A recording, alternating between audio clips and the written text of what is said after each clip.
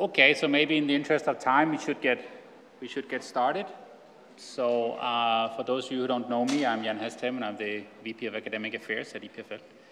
Uh, and so it's my distinct pleasure and privilege today to uh, introduce uh, today's lecture uh, for the campus lecture, um, Dr. Merritt Moore. Uh, those of you who are fortunate enough to attend the Magistrale tomorrow will see her perform. Many of you will not have that opportunity, so I'm sure she will show some videos today. Uh, but let me give a little bit of a background of this uh, rather exceptional woman.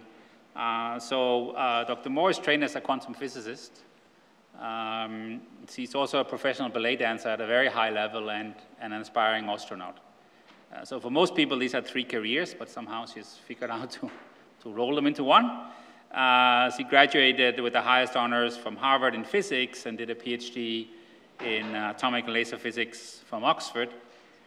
Uh, and while she was doing all of that, she was pursuing a, a professional career as a ballet dancer, performing uh, during and after places like the Zurich Ballet, the Boston Ballet, the English, English National Ballet, and also in the Norwegian uh, National Ballet. So these are not dance studios in the corner of the city. These are really real, uh, the, the, the, big stage. At this point in time, she's an adjunct faculty at uh, NYU Abu Dhabi, where she somehow manages to teach courses in robotics and dance. So this is a relatively unusual uh, uh, approach, but uh, extremely inspiring, and, and will, uh, I understand, now take a position as a research fellow in Technology Innovation Institute for Quantum Research um, in Abu Dhabi. She's been uh, on the list of Forbes, Forbes 30 under 30. Uh, it's a list that Forbes magazine comes out with uh, once a year where they scan the world really to try to identify the most exceptional uh, 30 people under 30. Um, and she was selected uh, to that and is also selected as one of the candidates to undergo training uh, for joining potentially the astronaut program. Um, with the background that she has, she has, um, she has moved into a, something truly innovative where she mixes uh, dance and, um, and science, if you will, or robotics, and, and, and you can see the, uh, the picture there. Uh, she has done this also in a number of different places. She's been an artist in residence at Harvard, and she's, her, her uh, performances have been displayed and, uh, and, featured in a number of magazines, Time, Financial Times, uh, Vogue, and in a number of leading magazines. Um, I think today Dr. Moore will, will share a little bit about her journey, which is a bit unusual uh, to say the least, uh, about how to study physics at Harvard and Oxford while pursuing, uh, which that I'm sure everybody told you is impossible, to at the same time be a professional ballet dancer. So um, I think it'll be inspiring to hear about that. Uh, and, and, my understanding is that, in fact, uh, you see the interface between science and ballet as an inspiration. So maybe we should simply have a new first year course in EPFL in ballet and this will now all push us into the next, uh, the next level. So with that, I will give the word to you, and uh, we're all very excited about having you here and look forward to your presentation. So. Thank you so much. Hi, you guys. Can you hear me? Yeah? It works. Yes. Okay, cool. Oh, it's a pleasure to be here. How is everyone? Good? Great. So my name is Merritt Moore, as you all heard, and so I'll be discussing sort of the career path or journey that I've had pursuing both dance and physics along the way. So I think the first question I'd want to ask you guys is like, how many of you have a creative interest or passion? Creative one, yes. Science techie one? Even sports? Like who has two passions. and how many of you guys feel that you have to choose one or the other, right? To be like disciplined or to be loyal to that field. And so for me, hold on, let's see if I can do these slides. how many of you have, feel like you have to choose? So I definitely felt like I had to choose. Um, I've been trying to quit one or the other my entire life. so many times I've been trying to quit because I felt like I would be a better physicist if I quit ballet, and that I'd be a better ballet dancer if I quit physics. And I just, for the life of me, could not give up either. So I'll kind of do the journey of first it was physics, then ballet, astronaut training, and now it's dancing with robots. So the dancing I'll describe first, which is I started dancing at 13, which is middle age. It's very late for a ballet dancer. If anyone starts dancing at 13, everyone says like it's impossible to make it as a professional ballet dancer. And I was going to a very academic high school. So in my head, ballet was always off the table. But I, the minute I entered the dance studio, I just felt like it was home. Like it was the most raw, authentic way for me to express myself. And the reason for this is maybe perhaps because I didn't talk till I was three. When I was young, I didn't really speak much. I always felt it difficult to find the right words to articulate what I felt and how I wanted to express myself. Like if I said, oh, I like it, like it, it wasn't sufficient. So, but when I found dance and with the music, it was like, it felt so authentic. It was just like whatever I was feeling, I was expressing in that moment and in that instant. And so I just fell like head over heels in love with dancing. The, the, a couple of things that came up was one, I started very, very late. Number two is I was kind of seen as this fluffy artist, like the artist side of it was fluffy and not serious enough. Um, and then it was kind of like poo-pooed. And so I then kind of felt like I was taking classes, but I, I then focused most of my energy towards my second passion, which was physics. And so as a kid, along the lines of like being a little bit not liking words, I like gravitated towards movement dance, but I also gravitated towards equations. And so I loved math as a kid. Like I loved crossing things out on both sides of the equation. Like I loved the puzzles. I loved then thinking about, my dad would take me out to look at the stars and he'd be like, you know, are, was there one big bang or were there multiple? Like, is there life out there? Like, what are black holes? Like, what's dark matter? So those type of questions just caught my curiosity and my passion from a very young age. And so my first physics class was senior year of high school.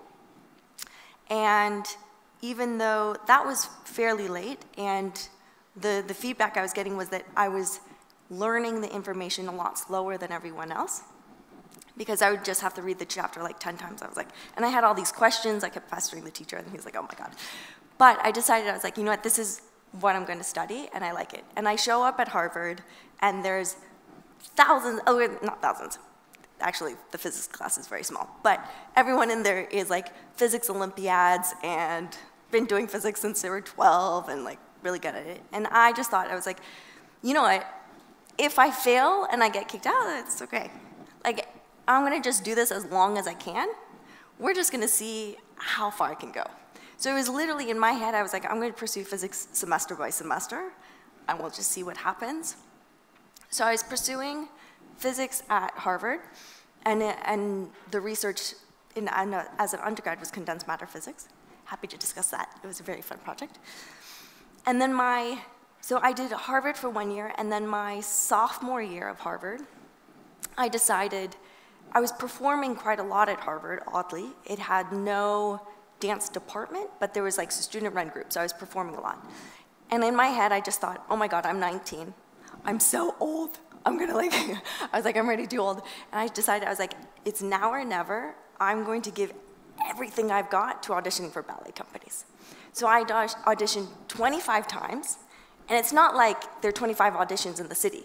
Like I've got to fly, like to Zurich. I flew to Zurich and then flew back, and then flew to Germany and back, and I flew to, uh, you know, Spain and then back and flew to. Like I had to, and with, and back then it wasn't. We didn't have a Kindle, so I was like me and my backpack and all these physics books, like studying on the planes and in between auditions but I was like committed to doing all these auditions. I uh, got rejected 24 times. But my 25th, I got into Zurich Ballet, which was actually my dream company that I really wanted to go to. I don't know what the slide before was. But um, so the trajectory was I did Harvard, right, for one year, then I went to Zurich Ballet. Then I was like, you know what? I'm going to be a good physicist because my physics advisor at Harvard was like, Merritt, you need to quit dancing if you want to be a good physicist. So I was like, great. I'm gonna, I retired from dancing. I was like, I got it out of my system. I became a professional. I was paid for it. I'm going to focus back into uh, physics. So I did physics for a year. I threw away my pointe shoes. I threw away the ballet shoes. I was like, I'm not even going to go to the gym.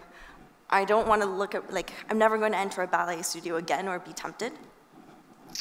So so what happens is dance kind of does this to me. So there was one performance though at Harvard, and then like I kind of started, and once I go down that tunnel, like that path, then I'm like training every day and I can't help it. So what happens is I then took time off. Okay, so I unretired, and then I went to Boston Ballet, because they, accepted me, and I was like, oh my God, like how am I gonna say no to Boston Ballet? And I did call up my dad, I was like, Dad, oh my God, like did you hear the news? He, all right, like I got into Boston Ballet. And he's like, I know, I heard the bad news. It was like, that was just so you know, like, that was my family sentiment. There's just like, what is up with this girl and dancing? Like, which she can't stop. Um, that being said, they were so supportive of me when I was doing all my auditions. But because, like, my mother, her philosophy was, let's encourage Merritt to do the auditions, because she keeps failing. And like that is such a good lesson to learn. She was like, and she would always tell me, she's like, Merritt, I'm proud of your accomplishment, but I'm most proud when you fail and you get back up. She was like, because your accomplishments, people forget about it. You'll forget about your grades like next year. Like no one's gonna remember. But that strength of getting back up from failure, she was like, that will make you invincible. Like you'll never, no one can ever keep you down. So that was my parents' philosophy of being like, go audition, go audition. You know, until I did actually get in and they're like, oh my God, like, that was not our intention. Okay, so I went to Boston Ballet and then I was like, retired, I'm going to back to Harvard, we're finishing this, that's, and I was only doing that. Unretired, and I was like, well, there was just this one performance, Jose Mateo. Then I like officially retired, I'm gonna be a PhD student, the best PhD student ever. But then English National Ballet I got into, you know, I was like, I can't, okay, fine, that one. Retired, then Norwegian National Ballet. And at this point, I was just like, oh my God, okay. It was just like, at, then I, back at Oxford, and I was just like, actually, like, why not both? I've now literally done this for 10 years, the back and forth and back and forth and back and forth.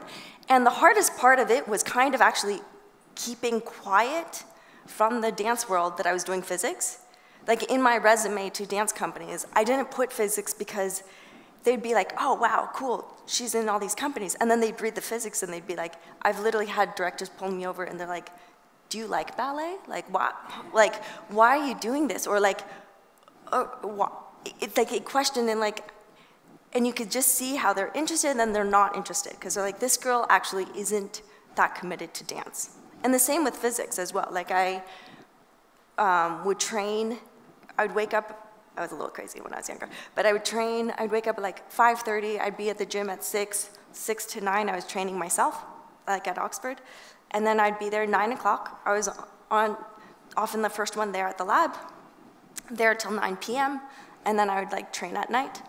And also I'd take like my lunch break, I'd be training, and I'd like every hour I'd go and do like a ballet exercise. But they didn't know that, but it was just like I just had to do it. So, anyways, as you say, I couldn't give up either. I was often, this is how I studied, this is how I fell asleep. And um, this is, so the similarity is, you know, uh, have you ever seen Ice Age? That little, uh, and there's that squirrel rat who's like going after the nut. And then like, so that was me, like, because you see the success, like you see the times I get in, but you don't see yeah, for Zurich Ballet, it was the 24 rejections. So it was constantly being like, not, and then it's like falling down the cliff. And then like, but I'm still so eager and going and scrambling it. And then like, not, and then it's like, but it was like physics and ballet. And so this is what my friend sent me. He was like, this is you. I was like, I do see the similarities actually in the positions. Um, so I was like, okay, well, that's, that's fine. So this, I then was at uh, finishing up my PhD, and I was like, why not both? And this opportunity to be part of Astronauts Do You Have What It Takes on BBC came up. They were picking 12 candidates out of a couple thousand from the UK to undergo astronaut selection process. And this was with astronaut Chris Hadfield, and he was really making sure that all of the tasks that we did were challenging enough so that we could put on our resume that we've gone through this process. I didn't really know that when I signed up. Like, I thought, oh, it's going to be kind of chill. I don't know. Um, the first, and they said it was going to be chill. So the first day I show up, uh, they had us uh, fly in a helicopter. Was the first day. Hover in one, like that we'd never experienced before. So here is a Immense congratulations to you. You are the final 12, but at the same time, you are now nothing. An elite group, including scientists, pilots, surgeons, and athletes, are about to go head to head to become the ultimate astronaut applicant. Begin. This is as good as it gets. We keep raising the bar and see who can keep getting over it. Hopefully, I'll do okay. I don't think you ever feel completely safe. I'm a guy. I'm a tree guy. Astronauts, do you have what it takes on BBC Two? So that was an incredible experience. So they pretty much locked us up. Um, we had no access to phone, computer, or anything. And we were at their whims for however long we stayed into the program.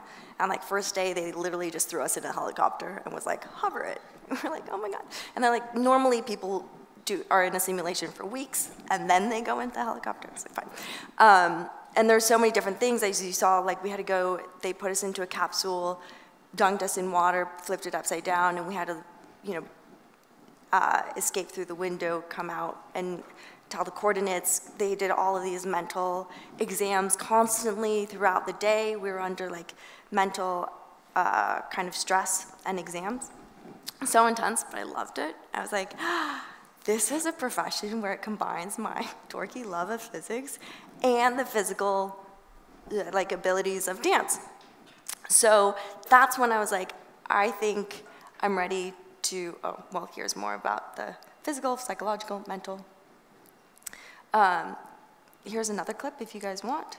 So the candidates must tread water for 10 minutes. Three, like this is two, one of the things we had to do. One, begin. 10 seconds, hands on your head, go. 10. And Chris makes the test tougher still. 7, 20 seconds, go. 20, 19, 18. On your head. Science teacher James is next to run into trouble. James, on up. Spit. So it was like, con- like whatever the bar was, he would just increase it. It was like 10, 20, 30, like it was just so, and this was, we never knew what was gonna happen next, the next day. There was no way to prep. And that, like that uncertainty was the, the actually the worst part. Um, but there was Mars rover, Dunker, ISS, but all of this experience just made me believe, I was like, I want to go and dance on the moon. Like, that's what I want to do. And so I've um, gone through the process and still, uh, like, starting my piloting license and then and applying through NASA. And also, there's um, Yusaku Maezawa, who's this billionaire who's had this application for art, eight artists to go around the moon. They had a million applicants, then they narrowed it down, continued to narrow it down, continued to narrow it down. They got it down to 20 applicants, and that entailed intensive medical exams, like 51. Um, and I'm down, and they announced that, so I'm down to the final 20. And uh, Starship, it's sort of depends on like Starship's, uh, when Starship goes up, is ready. Because Starship has not gone up in space let alone with people. So we're a little bit, uh, yeah. I think we want it to go up in space without people first before uh, they put people on. So that will be going.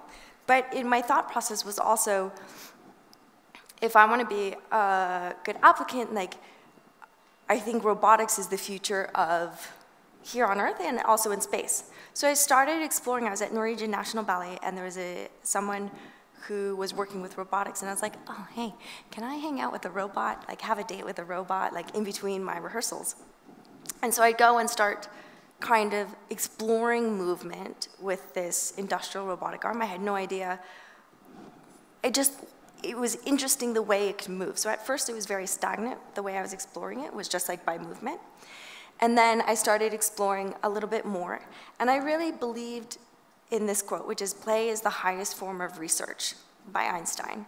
Because I feel like in the, when I was at the physics lab, there was so much pressure to publish papers continually.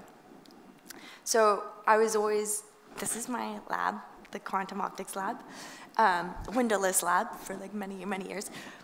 And I just realized like there was so much pressure to publish papers. So if someone did a, an experiment with five photons, you do the exact same experiment, but then you try to push for six. And then you do that one and you push for seven. But like, because you need to publish papers, like there wasn't that much room for creativity or to be able to start from the drawing board. And so uh, here's my thesis and, and papers, and I just felt like I felt stuck in being like too afraid to push out of what was kind of set in that, uh, like in terms of like necessary papers in order to pursue academically. And so then I kind of broke away and was like, you know what? I'm gonna, Einstein was smart. So we're gonna do his quote, which is play form. I'm just gonna play. So I started then playing with robots, and it started at uh, Harvard Art Lab. So I took the images that I had taken at, when I was in Oslo, I applied for the Harvard Art Lab, and I was one of the first residents there, and they just offer the space to research. There's no pressure for a performance, and it's, or an exhibition. It's just a beautiful space where you can just research. And so that's when I started to explore um, dancing with a robot, and this was the first exploration. Maybe? Or is it just an image? Oh no.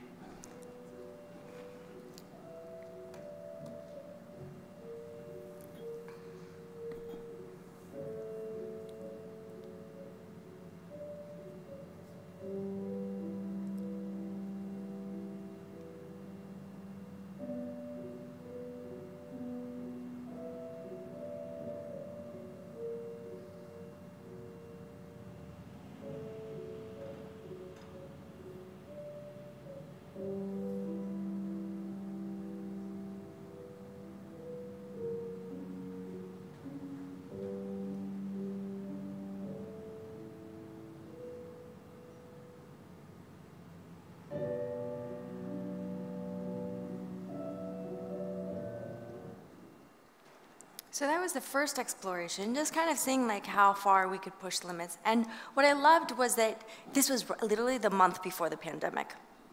And so it just caused all these questions of like, I always believe the greatest breakthroughs are from questions.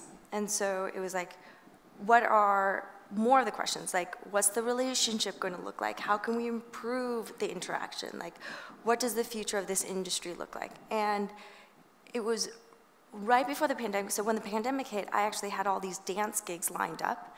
And I thought, oh my God, like, what am I gonna do? Like, I can't dance anymore. Everything's canceled. Like, there's no dance class. We normally dance like all these human, uh, people together, right?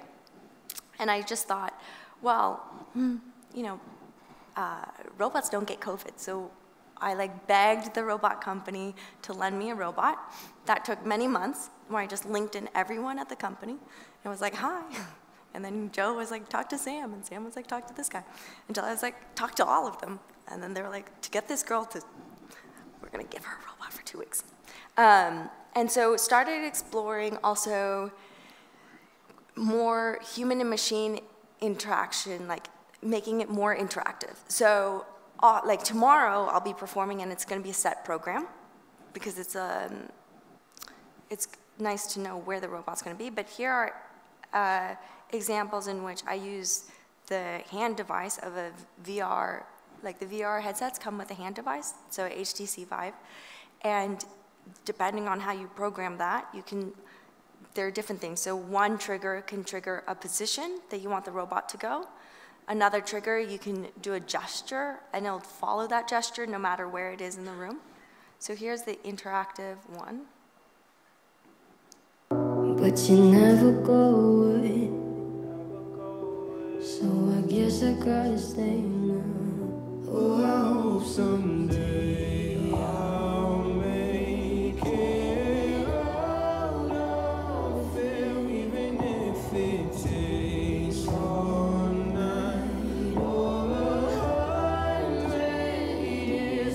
place to And the fun one with that is like you see that it does this turn thing in the middle of it.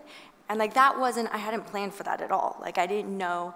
And what's fun is when I'm working with this different object is it like creates it kind of inspires a different way for me to move or a different way for me to choreograph and it's just like a different type of inspiration which i find very um, fun um, pushing further to this is then how can you make it even more interactive? And so one uh, thing that I did was going into motion capture. So motion capture would then store, you know, I dance, and then would store my dancing as data, feed it into computer, and then AI would then create a new dance. And the idea is then from that new dance, mapping it onto a robot and just seeing what comes from that. Um, this image is just the data, visualization of the data, but I just think it's nice and fun. It's me dancing.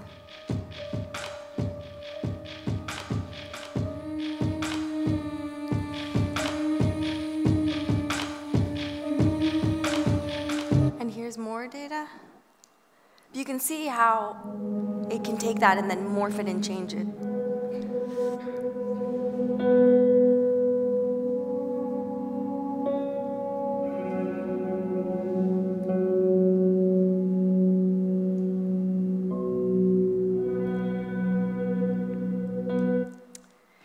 Then the other way that I've been working with the robots is just pre-programming it. So I know exactly what it's doing.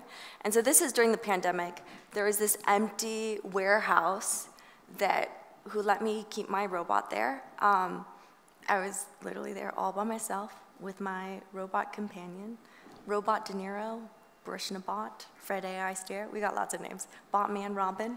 Um, and so we would, I would just, like, I was so bored during the pandemic, and so uh, Robot here kept me company, and we, we just played around. It was also the beginning of the Reels, like Instagram Reels, so I was like, here, here we go. So we did, we did a little Michael Jackson.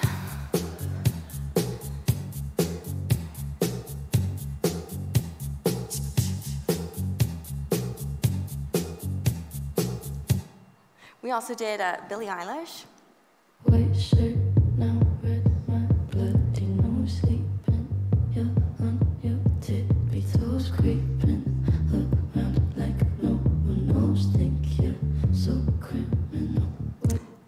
And then, um, and then from those, what happened was that those went a little bit viral. And so then America's Got Talent reached out.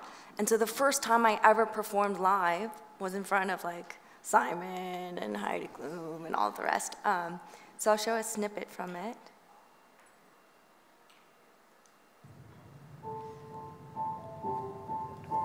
It's from the side.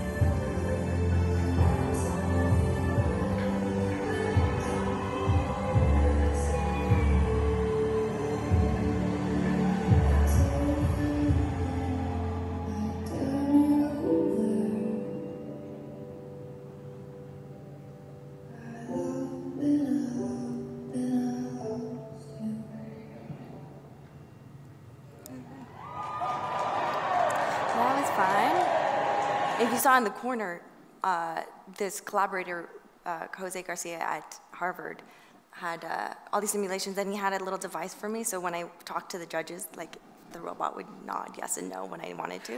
Um, and I got the four yeses, which was great. But then you need four more prepared, like within a week's, a month's time, and also they like it didn't get aired, but it was very cool. Uh, here's, I think the.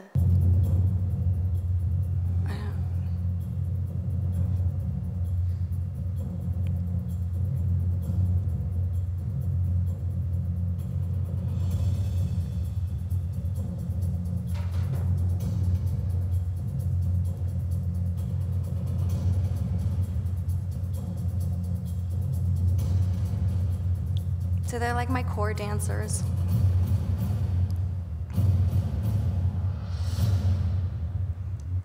So the, anyways, those are kind of the dances I've been doing. And then last week it was um, Boston Ballet. I performed with Boston for Boston Ballet, and then at Harvard in front of like Mark Zuckerberg and Priscilla. So it's just it's been fun that it's like still going and then going to be teaching a course on robotics and creative practice. So it's just been a fun journey. So it's very fun to be here with you guys talking about things. Um, I've written down like a list of lessons that I learned, but I don't know. We can also chat or make it interactive. Up to you guys. Do you want me to go through the lessons, or I don't know? Do you guys have questions? Huh? This one? So this one, okay, so perfect is replaceable. So this was my first lesson that I learned. I'll go through some of them. So when I was training as a ballet dancer, at first I quit. I was like, I can't do this. This is like, especially when people were like, oh, you have to do it like the specific way and there's a perfect way and all these things. But I had this one coach who was like, Merritt, just stop beating yourself up to be perfect. I was also in high school and I just like, I just wanted to be good. And she's like, stop beating, beating yourself up to be perfect. She's like, perfect is replaceable. Like, if you go to an audition and you have perfect legs, perfect this, perfect like, extension, she's like, you're like everyone else that's going to be there, and the director can like hire you and then unhire you. Like, he, you're very replaceable. She's like, but if you go in and you are truly authentically yourself and you bring something, something to the table that no one else can bring to the table, she's like, that's irreplaceable. If you, and that was something she was telling me about the dance studio, but I then took it in for the rest of my life, which was, okay, I can go down whatever crazy path I want, right? Because like, if I do it the exact same way as everyone else, that's replaceable. But if I go my like crazy way, that's irreplaceable. Like whatever lessons I learn, whether it's you know, and it's often, you know, it was kind of metaphorical, but like falling off cliffs and like you know, I'm not really, but the number of times I fall flat on my face are like very often. Um, but I know that whatever lesson I gain by doing that is, is something that makes me just stronger. So that was like one of the things. Um, another lesson is that I learned wh- where the- it was just something I read in high school, which was nothing is impossible, possible just takes time. And so I think often the hardest part of my the journey was the beginning when I was training four years in ballet, right? I started at 13, which is fairly late, but that meant from 13 to 19. I was training hard and never knowing if I would make it professionally. But I was in, putting in hours a day to train, and it just, like, I just didn't know. And also, physics wise, I didn't know if I was gonna even graduate from undergrad in physics. So, putting in hours and hours and hours and hours of time, I just didn't know. But there was a little belief in me that was like, you know what? If I, if I put in the time, I think that, you know, it's possible. And so that was something that pushed me forward. Um, and I do believe like every hour of work pays off. So often I've like worked my butt off for a certain application or for an audition, and I've not gotten it. And if I stopped then, that's where my path would have ended, right? But I continued just to put in work, and literally, sometimes it's just 10 extra hours of work because the next week there's an audition and I get that one. You know what I mean? So it's like, and, but it wasn't just those 10 hours that I put in. It was all the hundreds that I put in before it in preparation for that first one that I didn't get. So it's like often so much in my life I've seen that I put in tons of work towards something that I think is my goal.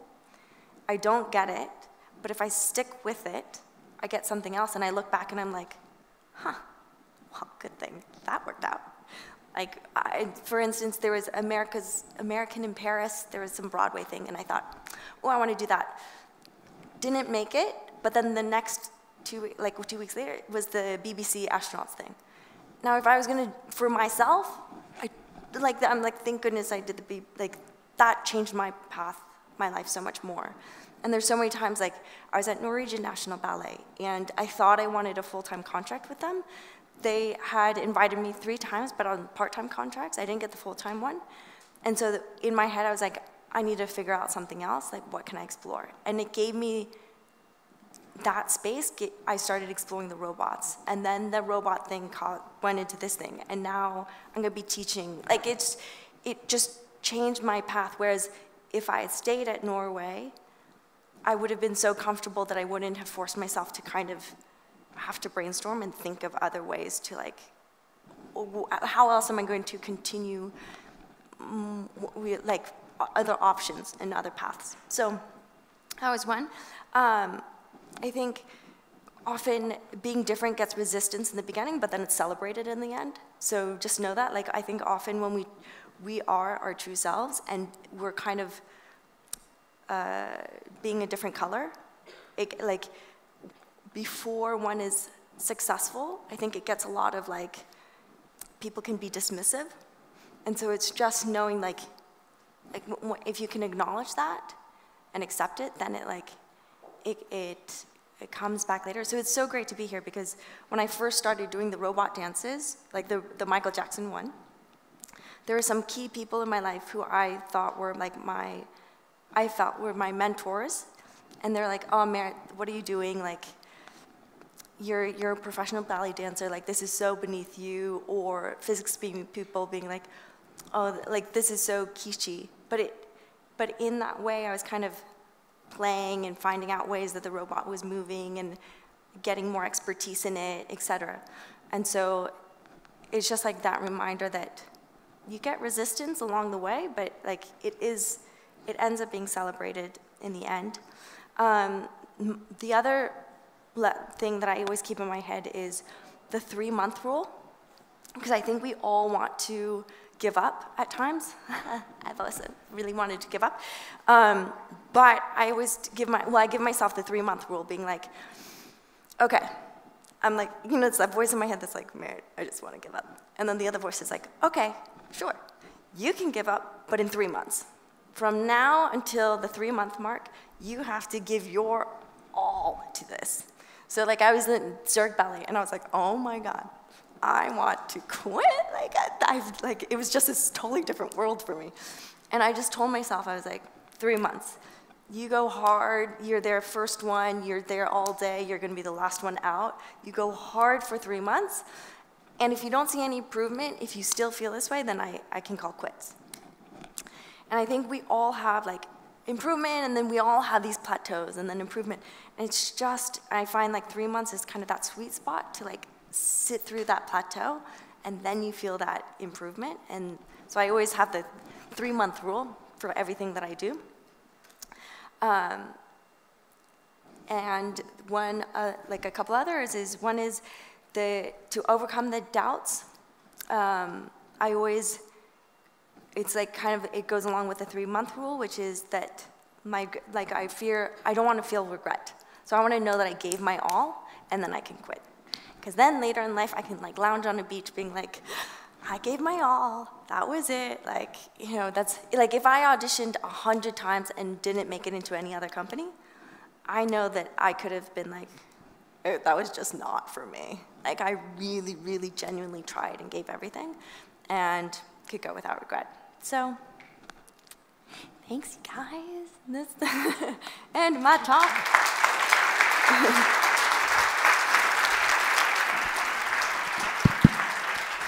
I hope you can hear me. Can you hear me well? Yeah? This was so inspiring. Oh, It was Thank you amazing. so no, much. thank you so Thank much. you so much, I think guys. we are so fortunate to have you with us. Honestly, I mean, uh, Oh. we all have seen your videos. You know, we we followed what you- what you're doing. So having you here is, is amazing.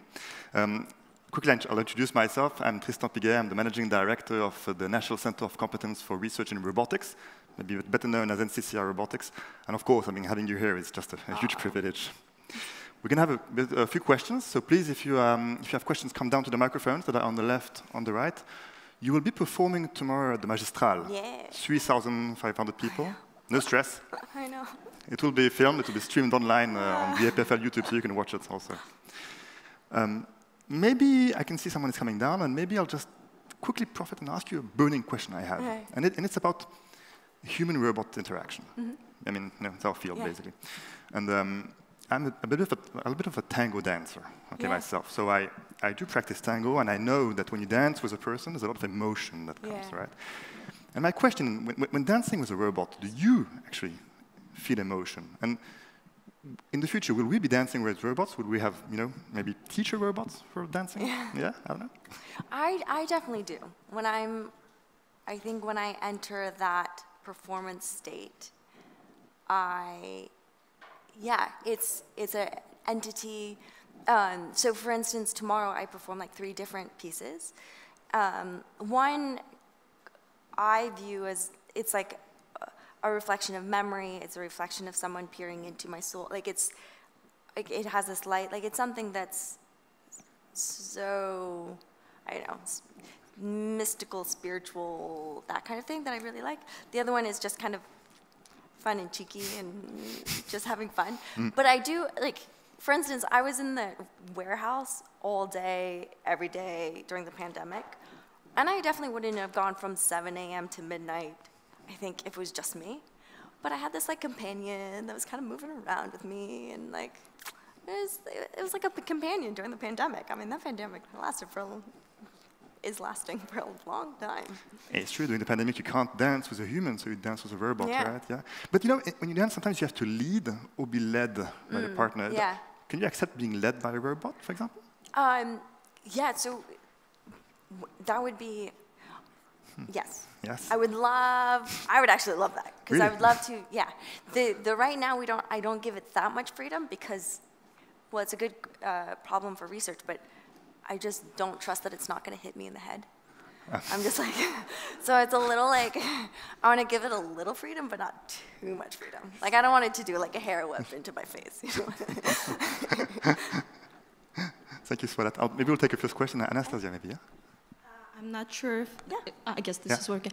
Uh, thank you for the lecture. It was really unique experience to attend such a lecture. So, uh, first question would be, uh, what is your take on humanoids? And do you imagine dancing with a humanoid robot one day, probably 10, 20 years from now? I mean, fully interactive dance, Yeah, it's so touches and everything. Interesting, because um, yeah, it's funny. I'm I'm playing around with this technology that I do think will be in the future. Um, but as much, I'm also like got my heels in the floor, and I'm like, I don't want it to be the future, right? Like, um, I'm also anti-tech, but at the same oddly, but um, I do. It's a mix. I think humanoids. I've sort of avoided at the moment, just because they have that eerie kind of thing. But I do find, at least these types of robots, I do think that it will be a tool for creativity. So the example that I like to think of is like painters freaking out when the camera was invented, being like that all their jobs are going to be like wiped out, and then no one's ever going to want a painting. Like I'm staying at this hotel, and on every wall is a painting. Um, and like I think we still appreciate painters and paint, but camera, we also appreciate photographers. As an artist, like you, you, it's not like the camera is called Bill and the camera, you know, it's the human behind the camera. And I think the same way, at least with these robots that I'm using, I don't know about humanoids and the future, but I do see it as a tool of expression where people will be able to watch it and be like, ah, that's Merritt's choreography, you know, that's so and so's choreography. And I don't see it as like replacing anyone as of yet. But I also do think that those are very important questions that we should be questioning and answering and thinking about. Definitely, yeah. Yeah. Okay, thank you for your answer. Uh, I work myself on human-robot interaction. I'm really curious, in all of the dances that you were showing, what uh, is there any handling of collision avoidance between your robotic arm and yourself? Because it does look dangerous at times. I know. and uh, if we were doing something like this in lab, I believe not, not like user studies, it wouldn't be approved. I know. So I don't know who approves your performances. I guess on TikTok people don't care, but maybe on uh, America Got Talent, how did you tell them that, well, the robot is not going to hit me on the head as I dance? That would freak out many people. Yeah. huh? Uh, well, that's the beauty of being in a warehouse by yourself.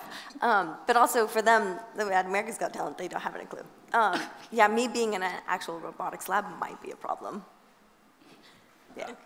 But uh, so far there's n- zero collision? No, no, these are cobots. So the minute it hits, it stops. Okay, that helps. Okay. That Yeah, yeah. So they're actually they're designed to work with they're collab. The cobots are collaborative robots. So they're actually designed to work side by side with humans. So yeah, yeah. They're not these. They're they're certain like KUKA robots where like they don't stop. They just like crush. yeah, yeah. No, no, no. I'm working with like. I mean, not that I, I would say no to a KUKA robot, but uh, yeah, yeah.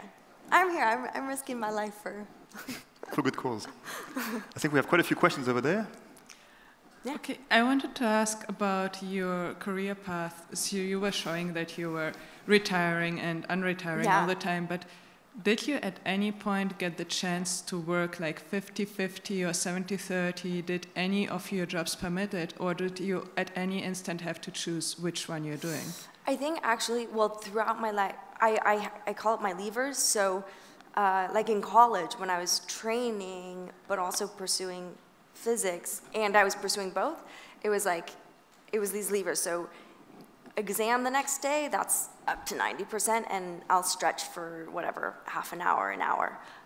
Dance performance coming up, we're going to train eight hours a day, and I'm going to do physics for four. You know, like, I would just kind of, depending on what mm, crisis was coming up, like, you know, whatever deadline was up, I would just kind of change it. And I do th- think that that doing that allowed me to find that appreciation. So like when I'm in hardcore physics mode, I'm then like so excited to be in the dance studio that I, whereas a lot of dancers who train their whole lives in the dance studio, they get a little bit, I think they're resentful to be in the studio all the time and then they start thinking negative thoughts and like self-criticizing, whereas I was just like, oh my God, just, I'm moving, like this, this is so joyful.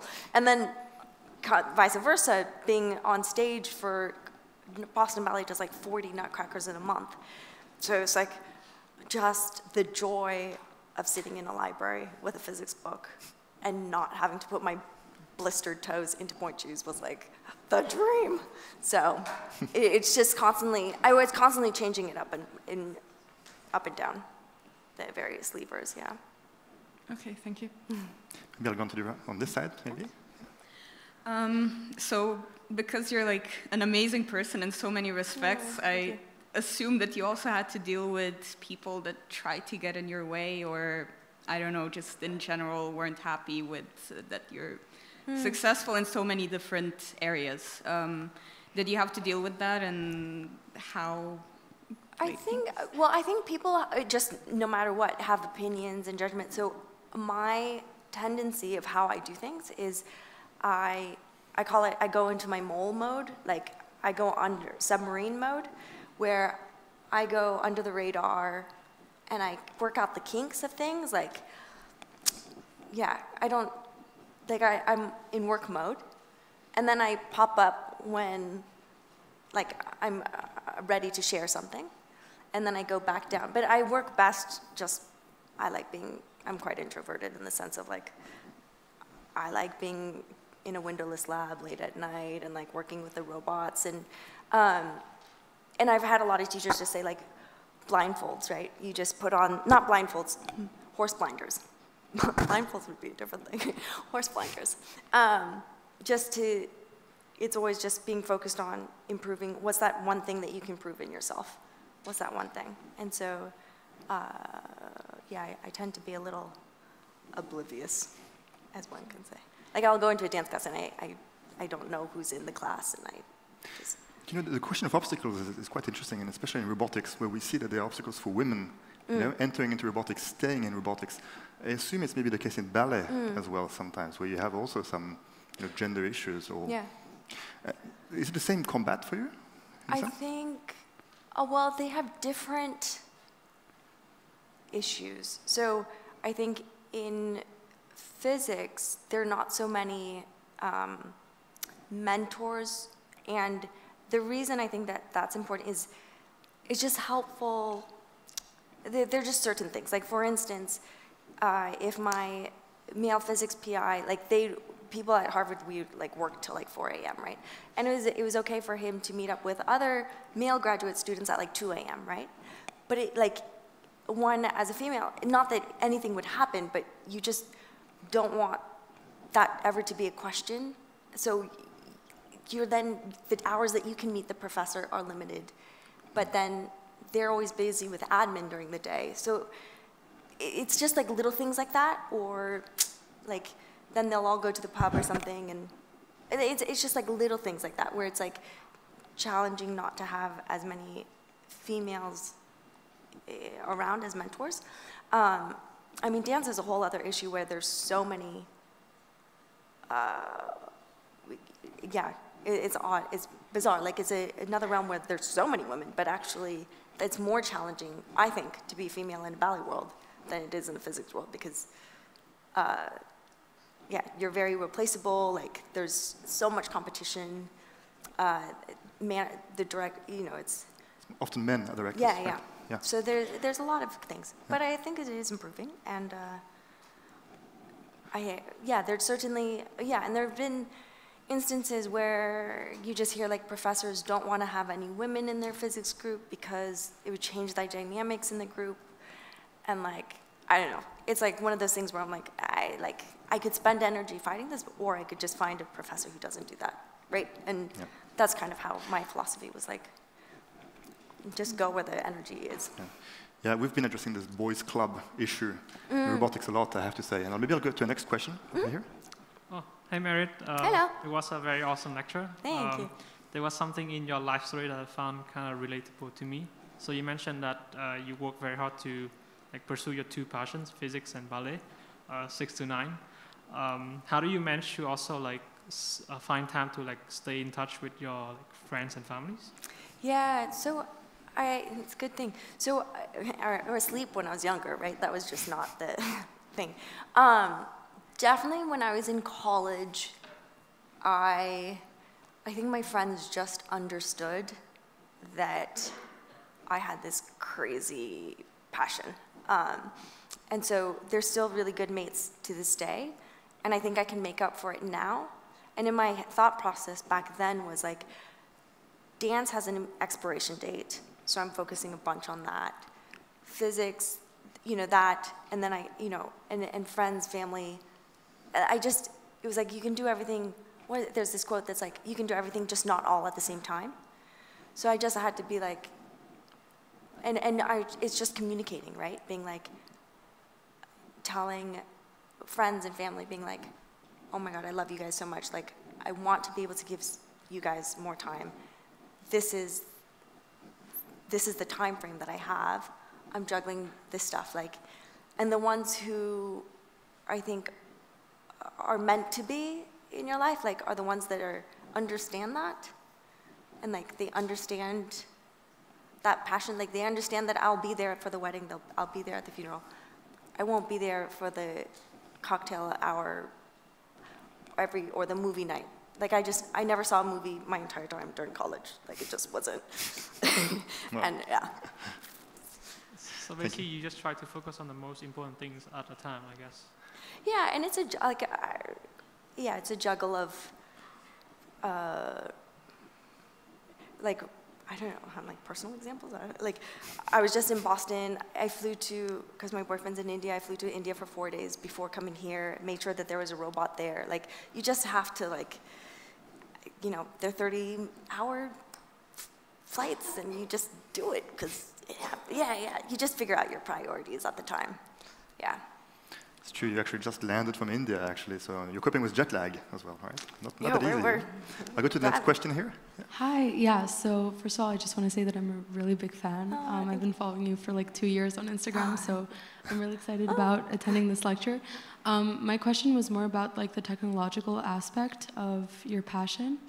And um, you touched on kind of uh, painting becoming obsolete with photography, and I was wondering what you thought of in, uh, artificial intelligence and how potentially it could affect um, this project of yours, and for example, with like robots being able to improvise with you or things like that, and what your thoughts were Yeah. on it. So, so the, the keynote for that one is that uh, people thinking that it would make uh, obsolete, but actually, um, but actually painting still exists. So I think that AI, like I was so inspired by that movie um, AlphaGo, right, where they had that AI machine playing against the top AI player, and the experts of Go, that game that's existed for 2,000 years. So humans have been playing this game for 2,000 years. And the experts were like, oh my God, this AI machine is doing moves that no one has ever done before. Like, it just opened the door, and now people are now training from the AI to become even better. So I do, I do think that there will be a way in which there'll be, I don't think AI will get to the point where it can do everything we can do. I think it'll be very good, much better at many things, better than we can do. But I think we can use that to then, and with our capabilities to kind of like, it'll be like a bit of a ping pong, but uh, back and forth to kind of improve the game, I think. Um, yeah. So on the AlphaGo, it's, it's interesting to know that this summer we actually beat a human drone pilot using an autonomous drone. And I'm speaking of these Mm. 15-year-old geeks, you know. Yeah, so, yeah, they're good. We're pretty good in Switzerland. It's in, isn't it? Oh, it's impressive. no, it's impressive, yeah, I have to say. It's pretty. I think we'll take one last question then Yeah. from the gentleman. Yeah. Uh, actually, I had uh, another question, but it was already answered. uh, so my second question will be that what do you think that is the most important thing in any kind of artistic production, be it art, be uh, be drawing, be it music, be dancing? This, the most important aspect?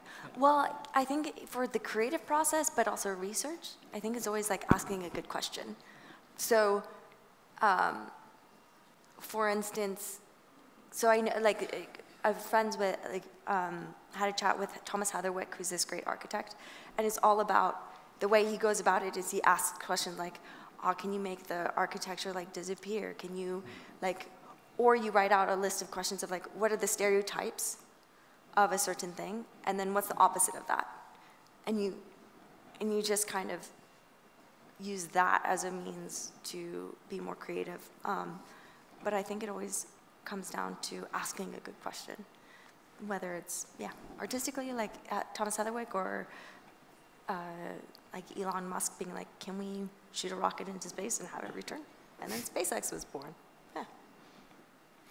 It's interesting how r- robotics can actually be um, used as an augmentation for the human body also, right? Mm. And for example, um, we're organizing the Swiss Robotics Day in November, Mm-hmm. and one of the sessions will feature a person who, has, who is disabled, who can't walk, Mm. And who will be dancing using an exoskeleton, dancing with uh, dances of the Béjart Ballet, right? And, and so my, my question a bit for you here is, uh, is this part of the future of arts, you know? Is, does this, is this an extension of dancing, or is it a new form of dancing? What, you know, this relationship between technology and art, does it change things? I think there'll definitely, it'll be a combo in the fact that it was very uh, exciting, I would say, was to be invited by Boston Ballet to perform with robots was a little like like a ballet company pushing that i was like ah okay. So i think the ballet companies are you know with the oldest form of well not the oldest but one of the a very old form of dance is like wanting to be at the forefront and being and understanding that the way that we communicate is going to be with technology because i do think like as humans we like things that are new and exciting or like just intriguing and different and Hmm. you know i think ballet could use a little help of gantz you know because Yeah. everything's like in lines and circles and diagonals and you're like it needs a little help from hip hop Thank you so much. Thank you. I see uh, that uh, we are going to be opening the curtains over there, and uh, that's the next part now. Mm, party. It's a good part too, though. It's a party. Yes. Thank you so much, Merritt, for Thank the you. absolutely stunning No, presentation. Yes. So we, would like to invite you now to join us for, um, for an aperitif, for a few drinks. This will be happening over there on the other side. Uh, it is a beautiful occasion, of course, to, to have you here. It also it is the occasion to do the finissage, the official closing of the photo exhibit that uh, the NCCR Robotics has organized over there. The exhibit is called Day Robots. It talks about those robots that we're developing today, how we're taking them out of, outside of the lab, and how they'll be occupying, occupying our lifetime uh, tomorrow. And there are some weird encounters, as you will see. I invite you to join us for the aperitif, and thank you so much.